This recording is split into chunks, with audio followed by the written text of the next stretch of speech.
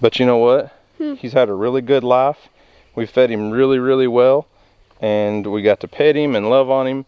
And most cows don't get to be raised the way he's been raised. You know what I mean? And then he will become food for our family, right? Are you okay with that? Hmm? Are you sure? Here, give me a hug. It's all right. So what's up guys? We are back with another Hang- video. Hang, on. G- c- could you keep it down, please? Could you keep it down? Huh? That's not keeping it down. All right. Before we were rudely interrupted, back to what you were saying. So what? we already started the video. So if you Houston's at a loss for words today. Yeah, you guys, have you I'm ever lost. seen this kid at a loss for words? I'm so I just got off work. It is a gorgeous day here in Oklahoma, and Houston and I, we got to do our chores real quick. We're gonna feed the animals. He wants to go let the goats out so they can graze and uh, water some seedlings in the garden and stuff real quick. But I snuck over to the big bass pond the other day, and I noticed there were some beds, and that means the bass are spawning in our pond. That means the water has warmed up and they're spawning, and that means There's the big bass fish. should be easy to catch. So we're gonna take Houston over to the pond and see if we can get into a, a big bass, if Bear will allow it. But uh, first we gotta do our chores. So let's go let the goats out, check on all the animals, and, and let's go fishing. Today's my Friday. I just got off work and uh, been been at work. I had worked the last four days, and we just found out today that we had the first confirmed case of the virus here in our county. So it's here now for sure, has been confirmed. So that ought to make work more interesting the next couple weeks. You think they want out? Yep. Let's see.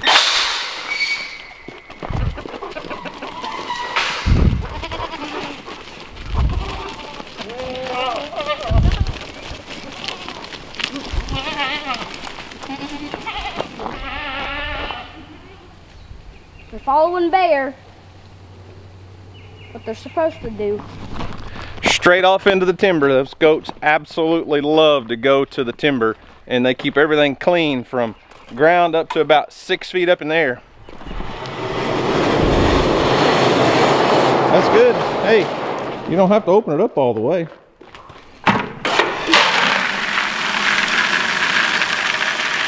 Overflow.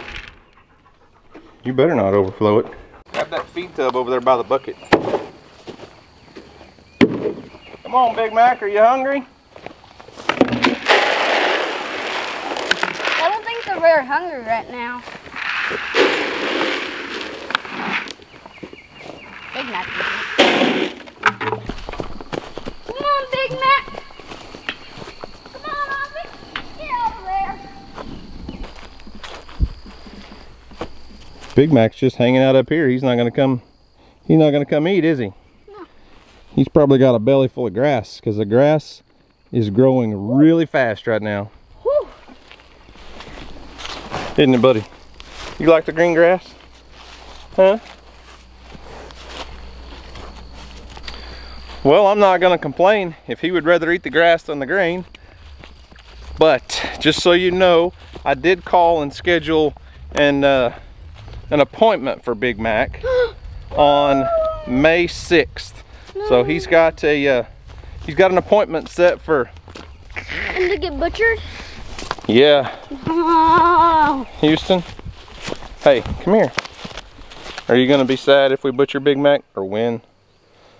But you know what? Hmm. He's had a really good life. We fed him really, really well, and we got to pet him and love on him. And most cows don't get to be raised the way he's been raised. You know what I mean? And then he will become food for our family, right? Are you okay with that? Hmm? Are you sure? Here, give me a hug. It's all right.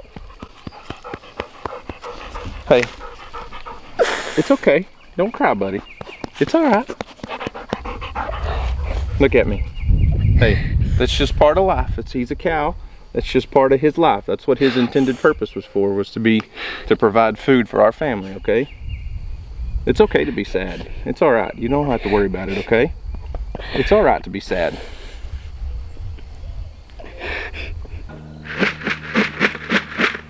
Come on, girls. Come on. Let's go, Dolly. Come on.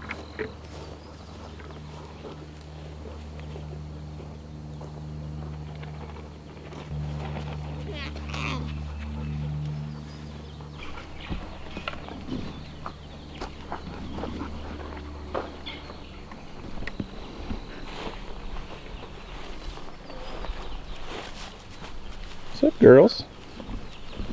There seems to be a common theme today. Nobody's really that interested in the grain, but uh, it just blows my mind how fast it's greened up. The grass has grown so fast, and this is where the goats are typically grazing, and uh, you can see Gemma there, our weenie dog, is barely taller than the grass right now. So it's growing really fast. I mean, we've got a lot of a lot of grass popping up in the last week or so. Huh.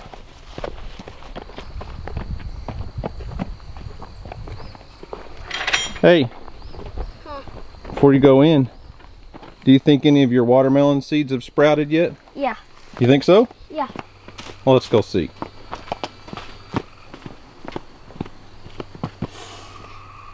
Nope. Darn it. Hey, None look yet. over there. Let's pick a strawberry. Oh, is there strawberries? Yeah. So we got a whole batch of strawberry plants that haven't been planted yet, but oh my goodness, look at our little seedlings. Everything's popping up.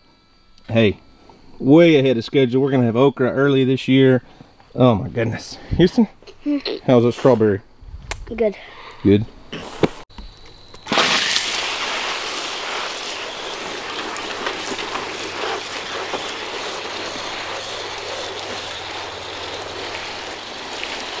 You shall get past me to water all the rest of the plants. You don't think I can get past you? I'm not gonna do it.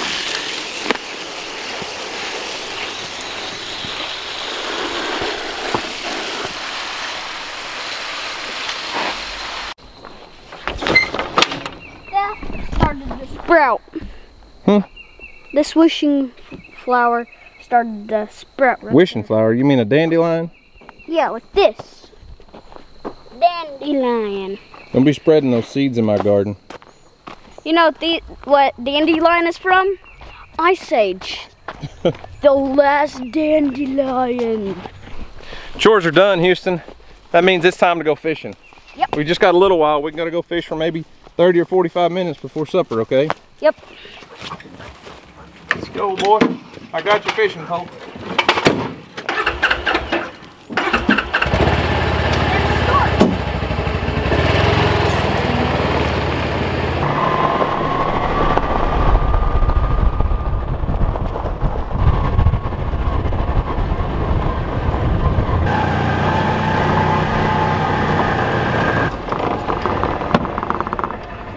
See if I can spot her.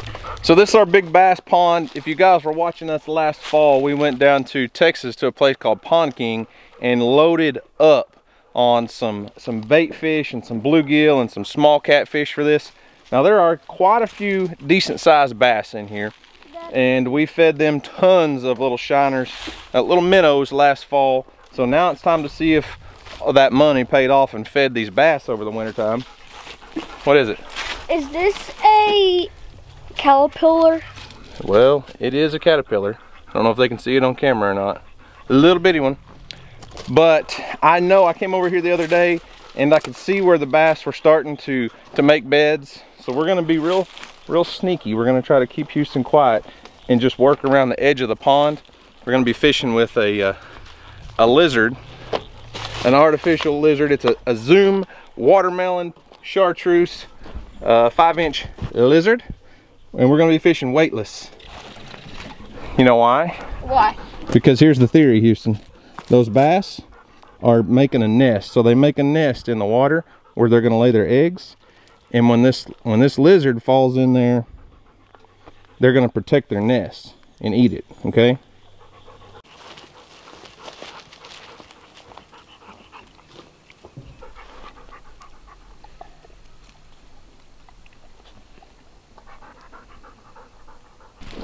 Don't know how well it'll show up on camera, but you can see all the grass in here. And then here's a spot where that bass is making her nest.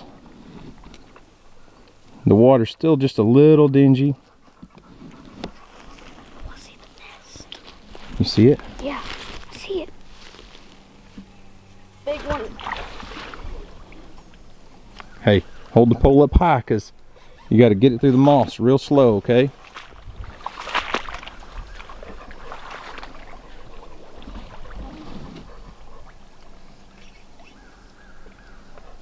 There a fish in there or is it just moss? I don't know. Keep pulling it up. Don't reel anymore. Let's see what you got. Hang on. Hang on. I- no, there's a bass in there. There is. Move, Bella. Oh, you got a little bitty bass. Hey, don't you ain't gonna complain about a bass though, are we I think you can catch a bigger one. What do you think? Yeah. All right, I'll let it go. Hey, it's it's good to see little bass too, though, Houston. That means they're they're spawning and and still little ones coming up. If they were all big bass, and we, we didn't have any little ones, you know what that would mean? What? That we weren't having any baby bass. I don't know what you're doing. Trying to get it. Wait.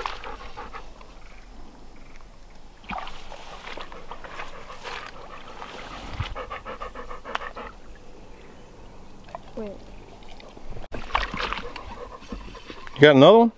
Oh! you yanked it out of his mouth. Ah! Our lizard's working though. They can't stand that lizard. Once that little lizard hits their nest or their bed, or you bring it right over the top of it, hey, that bass says, oh!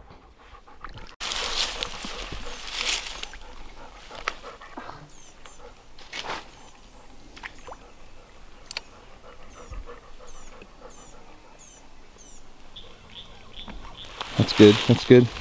Hey, don't reel it up any further. I'll get it for you. Oh, Mobella. Oh! Look at that, baby. Look at that, mama. Well, that one's not a lot bigger, but uh, couldn't resist that lizard, could it? Mm-mm. Let's see that fish one more time before you kick it loose. Ah, yeah, not a bad little bass, Houston. You gonna let it go? Yeah. These bass are starting to spawn in here in our pond. Whoa, you just about fell in. There he goes. Well, we didn't exactly tear them up, but we only had about 20 or 30 minutes that we could fish. And we actually missed a few that we didn't Like uh, didn't show you guys. But I don't think the females are on the nest yet. I think the male fish are, are coming in there and making those nests. Trying to make a nice, pretty nest for their ladies. So maybe probably, we're probably a week out on the spawn, but I did notice, I don't know how well it shows up on camera, but there are tons of little teeny tiny bluegill and little teeny tiny minnows. So our, our fish, our, our bass should be eating well. Terrible spot for my scooter.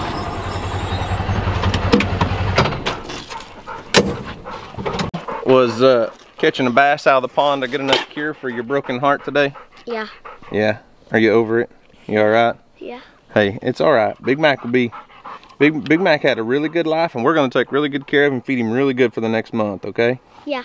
All right. So one other thing I wanted to show you guys, or just share with you guys, um, I totally forgot the other day I was going to mention this, but um, you guys may remember my my friend Brian from uh, the Highway Patrol. He's a retired trooper. I worked with Brian for years. Started a YouTube channel. It's called Smoky CNC Woodworks, and he made some awesome signs for us and stuff, and does all kinds of CNC router work. Well, he's also got a second channel that he started and has a podcast that goes with it. He kind of turned that second channel into his podcast. And he came out the other day and shot a podcast and videoed it. Guys, I'll leave a link in the description box. You can go check that out. You can either watch it on YouTube or listen to the podcast. I'll leave links for both of those. Um, I'm going to share part of it on this video. It was a lot of fun. I mean, he does some all kinds of different podcasts, but just the whole podcast world has always kind of intrigued me. Something I've thought about doing in the past. I just don't really have time to take on another project right now. But uh, it was a lot of fun having Brian come out and he just kind of set up and did just a little interview with us. But anyways, go check that out. The more I did research and the more I got to watching some of the bigger YouTube channels out there, I started seeing the number of views they were getting and through the, the website um, socialblade.com you can look at people's statistics and it gives you an estimated revenue and I remember you know three four years ago looking at, at channels going man these guys are making five to eight thousand dollars a month and Right. it just seemed astronomical It is astronomical, because I still think that's astronomical. But the potential out there I, I just saw there was a huge potential because there was not a lot of difference in the workload as a small channel versus a channel that gets a ton of views. Um, so someone that's making $400 a month is not really doing a lot less work than someone making 4000 a month. Right, with with our jobs with the state you knew what your income was going to be right. I know what my check was last month, what it's gonna be next month, and what's gonna be next year unless we get a percentage raise. But you, your income's pretty well set. On the internet, it can change tenfold overnight Right, um, with a few viral videos or um, the right contacts sharing your information and spreading it to their audience. You can just grow so fast. And which is what I'm doing right now. So it just um, it started evolving. Started um, watching other channels, seeing what they were doing, and trying to mimic some of their their style and their strategies, and, and seeing what kind of content was was getting views on YouTube. And there's just so much possibility out there. Well, I mean, it's the truth of it. I mean, I've told these guys more than once that podcasts right now, there are 800,000 podcasts in the world. 800,000. YouTube, half a billion. I mean, uh, it's saturated. So guys, thanks for watching. I hope you enjoy it. Well, not that yet. It's okay. Start over. I want to say something. Um, this year, when Big Mac gets but- butchered, we might get a few pigs for sale this spring. And after Big Mac dies, we might get another one. You think so? Yes, I hope. Yep. It's just kind of part of life, isn't it? We raise one and we butcher it and we raise another one, huh? Yeah. You're learning. You're doing good. All right. You want to wrap this video up and end it for us? So if you haven't already, go down there, subscribe, ring the notification bell, and like this video. So guys, thanks for watching. I hope you enjoy it, and we'll see you next video. Peace.